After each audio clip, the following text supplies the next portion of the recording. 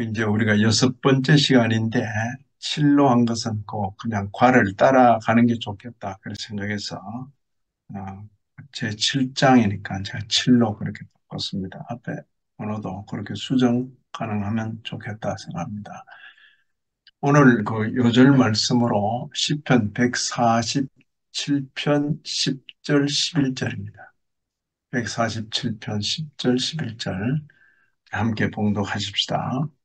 여호와는 말의 힘이 세다 하여 기뻐하지 아니하시며 사람의 다리가 억세다 하여 기뻐하지 아니하시고 여호와는 자기를 경유하는 자들과 그의 인자심을 바라는 자들을 기뻐하시는 도다 아니하신다.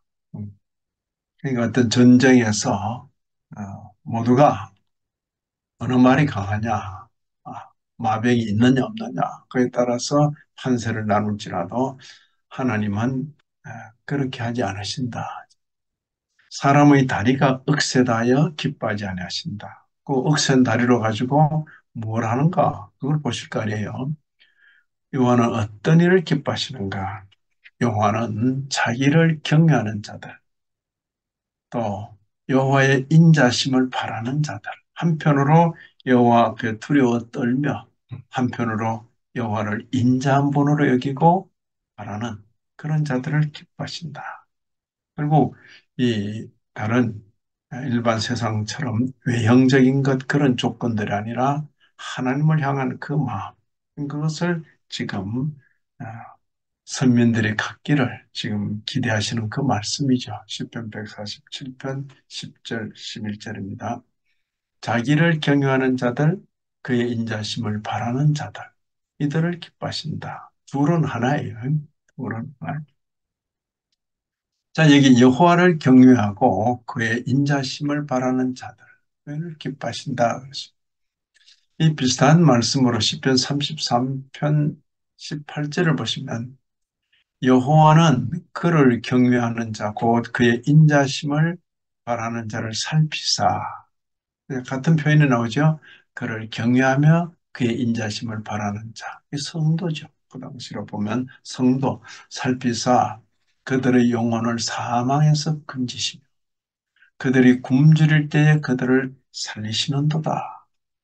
하나님께서 그들을 살피고 보호하신다.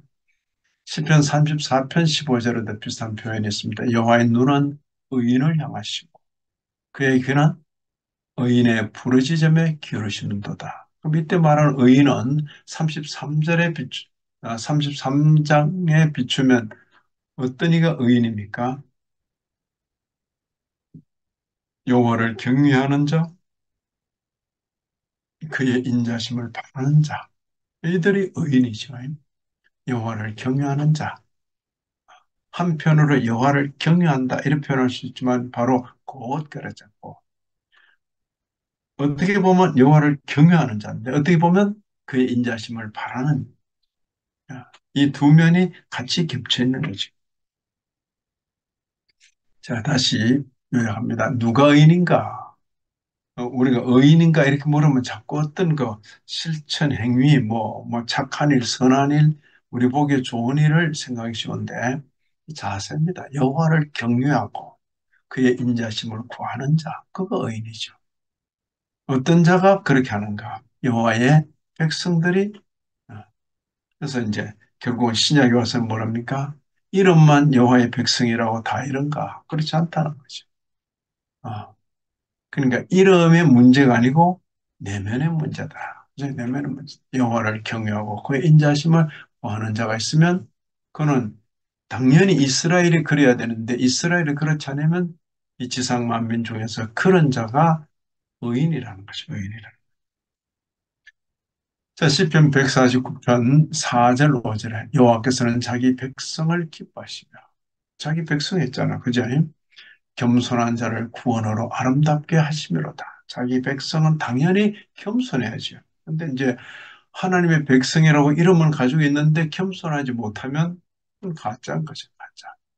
이때 겸손은? 한편으로 여호와를 경외하고 한편으로 여호와의 인자심을 바라는 거죠. 성도들은 영광 중에 즐거워하며 그들의 침상에서 기쁨으로 노래할지어다. 그죠? 자, 위에는 여호와께서 하시는 기쁨. 여호와께서 누굴 기뻐하는가? 자기 백성을 기뻐한다. 여호와의 기쁨은 다시 백성에게 또 전달되는 거죠. 그들의 침상에서 기쁨으로 노래할지어다. 그죠? 이 기쁨도 본래 하나님의 것이요. 하나님의 건데 인생에게 주어지는 그런 형태를 볼 수 있습니다. 하나님의 복을 누리기 위해서는 존 파이퍼 목사님이 이렇게 이제 표현한 거예요. 하나님의 복을 누리기 위해서는 모든 필요를 만족해 하시는 하나님께 우리의 소망을 구해야 한다. 그죠? 하나님께 소망을 두게 되면 어, 하나님의 복을 누리게 된다. 하나님은 이런 반응을 온 마음으로 기뻐하신다. 하나님의 기쁨이시 기쁨. 자, 하나님의 기쁨이라는 제목으로 이제 책 전체가 1부, 2부 나누죠. 1부는 6장으로, 2부는 석장으로 그렇게 되어 있어요. 1부에서는 전적으로 그 기쁨의 주권자이신 하나님께로 집중되는 거죠. 어떤 하나님인가? 하나님 뭘 기뻐하시는가? 뭘 기뻐하시는가? 그렇게 얘기했는데 2부로 와서는 바로 이런 하나님 앞에서 이, 이분의 선민으로 이분의 택함과 부름을 받은 하나님의 백성으로 우리는 어떻게 살아야 될까? 하나님이 기뻐하시는 일을 행하라. 그 첫째로 이제 이렇게 나오는 것입니다. 자, 우리가 하나님께 소망을 둘 때 기뻐하신다. 우리의 마음이 다른 데가 있으면 기뻐하지 않으신다. 우리가 소망을 누구에게 둔다? 하나님께 둘 때. 이 세상 살아가면서 필요한 것들이 있어요. 그건 필요한 것일 뿐입니다. 필요한 것이 없으면 좀 불편한 것. 많은 경우에 그 필요한 것들 때문에 이렇게 우리의 그 참으로 중요한 것, 이런 것을 양보할 때가 많죠. 그러면 이제 하나님께서 참 기뻐하지 않으신다. 이래 되죠. 우리가 소망을 하나님께 둘 때 기뻐하신다. 다음 시간과 다음 시간은 정직하게 기도할 때 기뻐하신다. 순종과 정의를 실천할 때 기뻐하신다. 이런 주제로 어, 준비되어 있습니다. 자, 하나님께서는 복 주기를 멈추지 않으신다. 성경에 나오는 표현이죠. 그리스도를 믿으면 언약의 피로 참유대인이 될 수 있다고 말씀하시는 겁니다. 그리스도를 믿으면 그러니까 어, 뭡니까? 음, 표면적 유대인이 유대인이 아니다. 이면적 유대인이라야 유대인이다. 이런 표현은 대단히 그 어, 놀라운 표현이죠. 어쩌면 바울 사도 같은 얘기에 있어서는 어, 동족의 미움을 살 수밖에 없는 표현입니다. 모든 유대인 동족들이 자기들이 혈통적 유대인이라는 것을 어, 굉장히 자랑하고 자부심을 가지는데 그거 아니다는 것이죠. 아, 아브라함의 후손이라고 다 아브라함이냐? 아니라는 거죠. 음. 그리스도를 믿으면 언약의 피로 참유된이 될 수 있다. 하나님은 당신에게 복 주시기 위하여 떠나지 아니하신다. 그리고 약속은 더욱 크다. 그리고 여전히 더 큰 약속이 있다. 이것이 이제 좀 파이프 목사님이 이 주제로 가지고 볼 때에 내는 그런 결론입니다. 이런 예를 들었어요. 조심 뮬러라는 과들을 돌보는 그런 목사님이 계셨는데 젊은 날부터 자기 부인과 함께 과들을 돌보고 했지 않았겠어요? 참 어떤 때는 과들은 지금 밥을 먹여야 되는데 막상 먹일 빵이 없을 때 하나님 앞에 기도하여서 하나님께로부터 공급하시는 그런 어떤 거의 기적적인 그 어, 경험이 있는 그런 분이죠.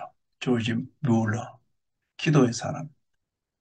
근데 1870년 어간인데 2월 6일 그가 64살입니다. 64살, 64살 때 결혼 39년 4개월 만에 뭐 거의 한 40년 아닌가요? 그러면 25세 결혼했다는 겁니다. 그죠?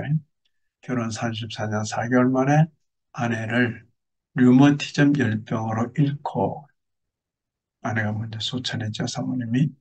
시편 119편 68절을 본문으로 장례식 설교를 행했는 것입니다. 그 본문에 주는 선하사 선을 행합니다. 이런 표현이 있어요. 그걸 설교 제목으로 주는 선하사 선을 행합니다.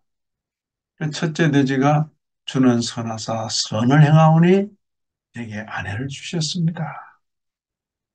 지난 날을 두고 감사하는 것입니다. 그리고 둘째 돼지는 주는 선하사 선을 행하는데 그토록 오래 아내를 내 곁에 허락하셨습니다. 하늘을 떠나 보내고 행한 그 장례식 설교를 이렇게 했다. 그리고 마지막 세 번째 대제는 주는 선하사 선을 행하시는데 아내를 하나님의 때에 내게서 데려가셨습니다. 어느 한쪽에서도 원망과 불평 이런 건 없어요. 아, 하나님의 어떤 절대 주권 앞에 하나님께서 우리를 위하신다. 아, 하나님께서 우리의 영원한 유익을 위하신다. 이런 면에 분명히 서서 지금 아내의 손길이 절실히 필요한 그 경우에도 하나님 앞에서 이렇게 주는 선하사 선을 행합니다. 하고는 어, 설교했던 것입니다. 하나님께 우리의 소망을 두는 거죠. 하나님께 우리 소망을 두는 그런 모습이다. 본 것입니다. 하나님의 그 기쁨은 하나님의 위대하심을 증명합니다. 예레미야 32장 41절을 보시면 나의 마음과 정성을 다하여 이런 표현이 있어요. 내가 기쁨으로 그들에게 복을 주되 내가 기쁨으로 그들에게 복을 주되 분명히 나의 마음과 정성을 다하여 그들을 이 땅에 심으리라. 이 땅에 심으리라. 네, 뽑혀갔던 그 하나님의 백성들을 다시 이 땅에 심는다. 음, 나의 마음과 정성을 다하여 그들을 이 땅에 심으리라. 되게 이제 허니문 하는 그런 한자를 밀월, 허니문, 밀월, 허니, 허니가 이제 그거잖아요. 벌꿀, 허니, 문.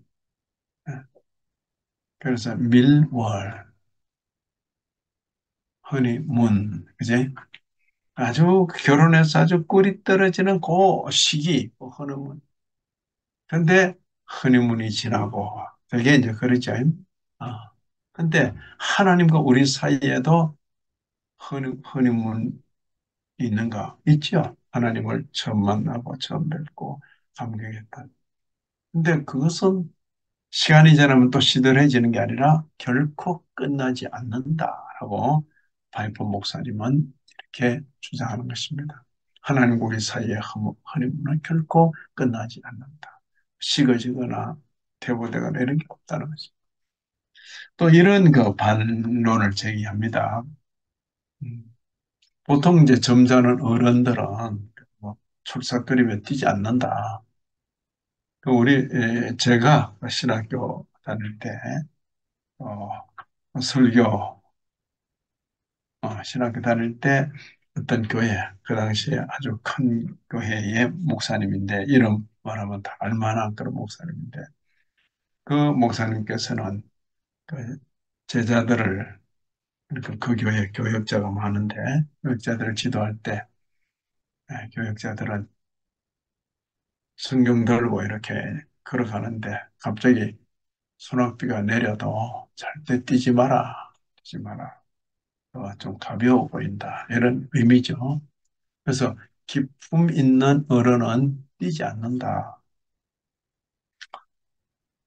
이런 말이 있는데 하나님도 역시 그런 분이시냐 이렇게 이제 반문하는 겁니다. 예? 하나님은 참으로 기품 있는 어르신이기 때문에 절대 뛰지 않는다. 근데 존 파이퍼 목사님은 성경 읽어봐라. 성경 봐라. 어디에 우리 하나님은 그러시던가? 성경의 하나님은 결코 그런 분이 아니다라고 반론하는 것입니다. 그 예로 스바, 스바냐, 스바냐 3장 17절을 제시하면서 너의 하나님 여호와가 너의 가운데에 계시니 그는 구원을 베푸실 전능자시라. 그죠? 아주 뭐 최고의 그 기품 있는 분이시죠. 근데 그가 너로 말미암아 기쁨을 이기지 못하시며? 그가 너로 말미암아 기쁨을 이기지 못하시며, 어떤다는 겁니까? 내색 안 한다 한다, 그죠? 어쩔 줄 몰라시. 너를 잠잠히 사랑하시며 너로 말미암아 즐거이 부르며 기뻐하시리라. 우리 하나님은 너무 점잖은 그런 분이 아닙니다. 아, 우리 하나님은 당신의 사랑을 우리에게 표현하십니다.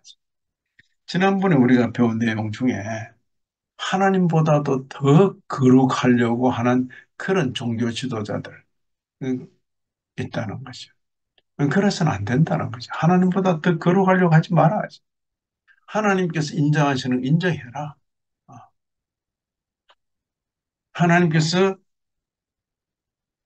하나님의 아주 선한 선, 선면으로 말미암아 기쁨을 이기지 못한다. 하나님의 선면입니까? 하나님께서 피로 값주고 사신 성도입니까? 그런 교회입니까? 너로 말미암아 기쁨을 이기지 못하신 이런 하나님을 바라보라는 거죠. 선하심을 믿을 수 없다. 나도 잘 모르겠다. 말씀을 통하여 거듭거듭 확인하라는 것입니다. 말씀을 통하여 거듭거듭 확인해라. 그런 말씀은 성경이 너무나 많다는 거죠. 성경을 읽지 않고 말씀해 놓은 말씀을 보지 않으면서 난 잘 모르겠다. 이렇게 말하지 마라. 여기 역시 스바냐 3장 19절입니다. 내가 저는 자를 구원하며 절뚝거리는 자를 구원한다. 쫓겨난 자를 모으며 온 세상에서 수욕받는 자, 수욕받는 자가 뭡니까? 요거도 먹는 자, 찬대받는 자, 그들에게 칭찬과 명성을 얻게 하리라. 그죠? 요즘은 다 이제 또 잘 살아보세요. 그 시대가 지나서 대한민국의 GDP도 많이 오르고 그래서 어, 이 지구상에 있는 많은 200여 나라들 가운데서 대한민국이 비교적 잘 사는 나라로 그렇게 있습니다만 저와 여러분이 예수 믿은 이후에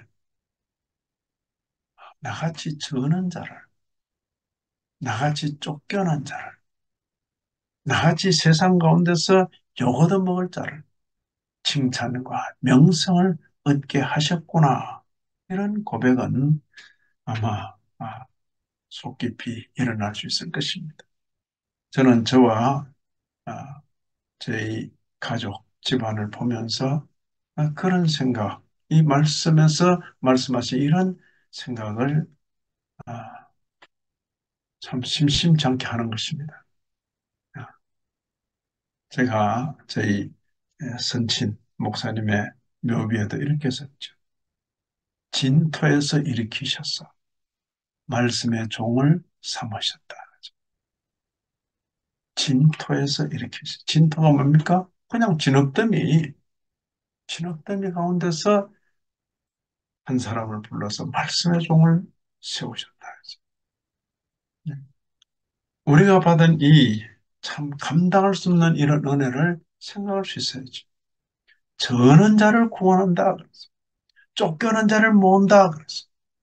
온 세상에서 요거도 먹는 자에게 칭찬과 명성을 얻게 한다라고 말씀하셨죠.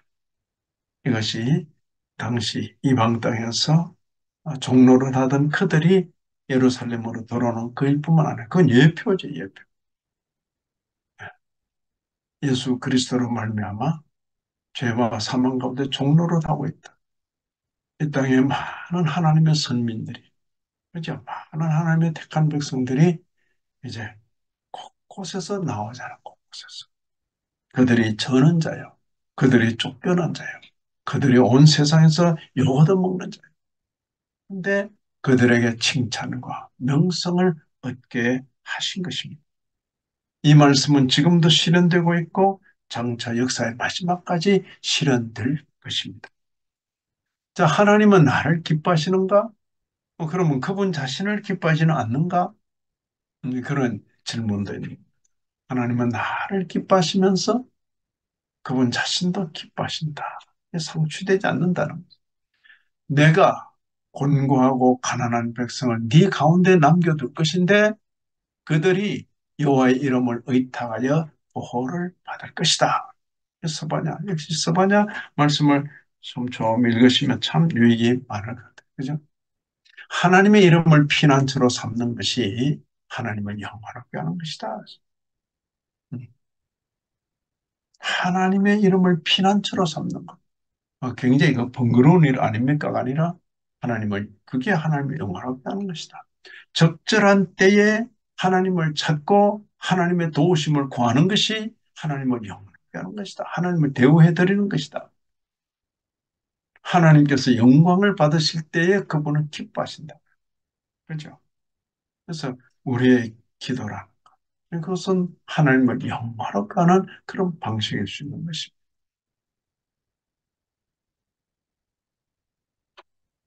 하나님의 도움을 필요로 하는 그 현실에서 하나님께 부르짖지 않고 다른 엉뚱한 데 가서 자꾸 도움을 청하고 있으면 하나님께서는 굉장히 하나님을 무시하는 것이 되고 하나님을 멸시하는 것이 될 수도 있는 것입니다. 음. 자, 예수님은 하나님의 이름이다. 이렇게도 표현했어요. 예수님은 하나님의 이 사도행전 4장 12절에 보시면 베드로 사도의 설교 중에 나오는 표현이죠. 다른 이로서는 구원을 받을 수 없다.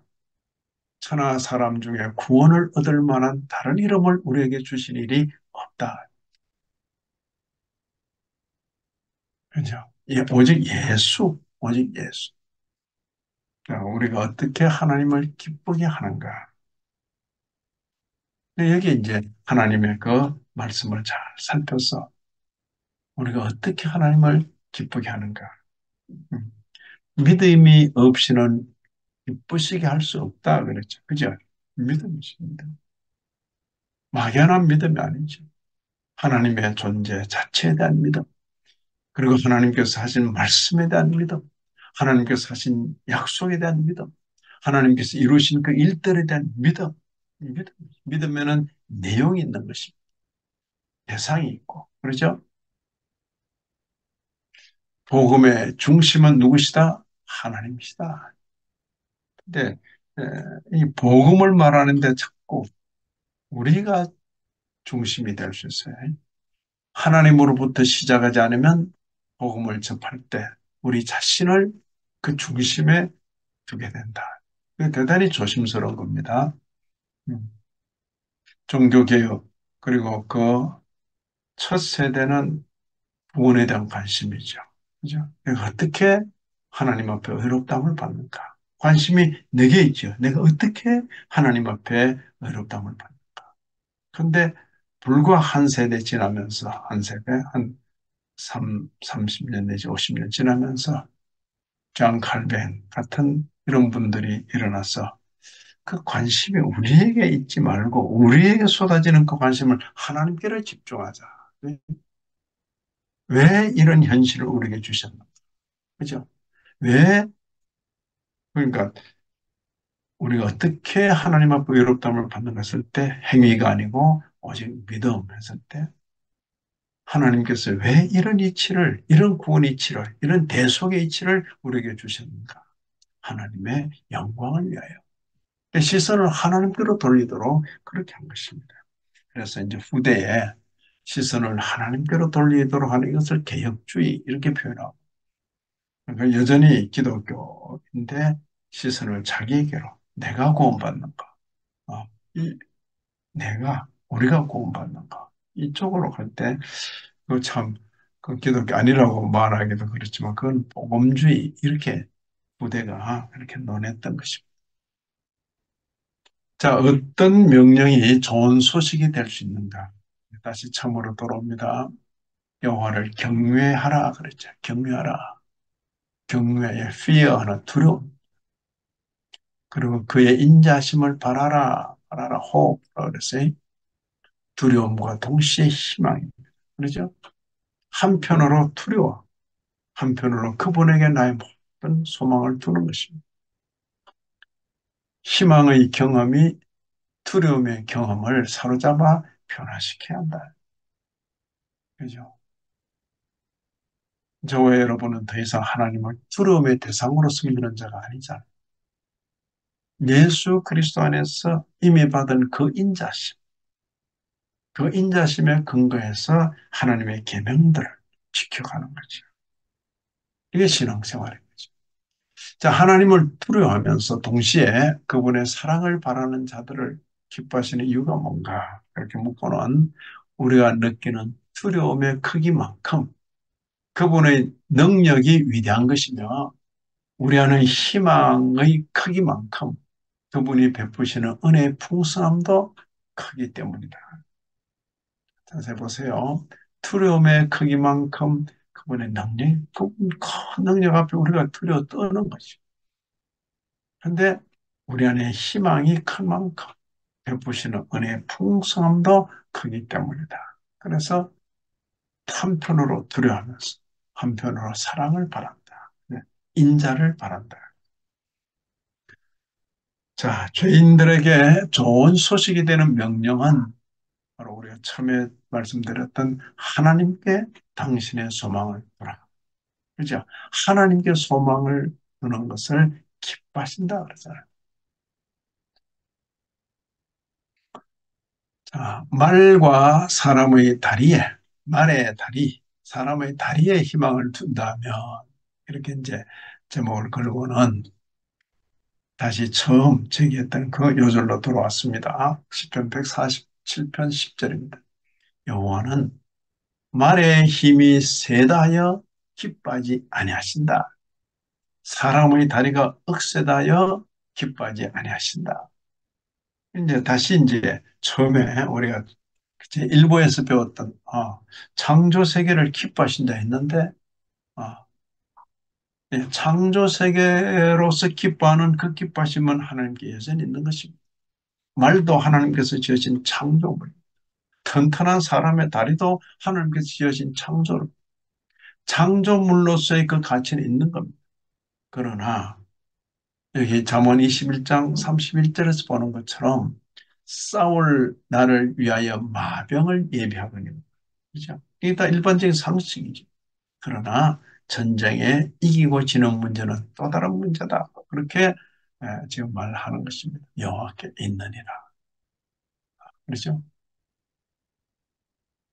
말에 힘 자랑하지 말고 사람의 억센 다리 자랑하지 말고 오직 누구를 자랑해요? 그렇습니다. 오직 여호와 하나님께 소망합니다. 음. 웅장한 기마대에 소망을 두지 말고 탄탄한 두 다리에 소망을 두지 말고 누구에게 이들을 지으신 하나님께 하는 자 정리합니다. 우리가 제1부 1장부터 6장에 걸쳐서 그 하나님 자체 아 하나님은 이런 것을 기뻐하시는 분이시로구나 기뻐하시는 하나님인 줄 알고 이제 입으로 넘어와서 이 하나님을 기쁘시게 하는 삶을 살아야 하겠구나. 그첫 번째로 우리가 소망을 하나님께 둘 때 하나님께서는 기쁘신다. 삶의 순간순간마다 삶의 고비고비마다 우리가 소망을 누구에게 둔다? 하나님께 두자. 하나님을 경외하며 그의 인자심을 바라는 저와 여러분 우리 모두가 되기를 진심으로 기원합니다. 하나님 아버지 돌아가신 교훈 가슴에 담고 우리의 남은 날을 살게 하여 주옵소서.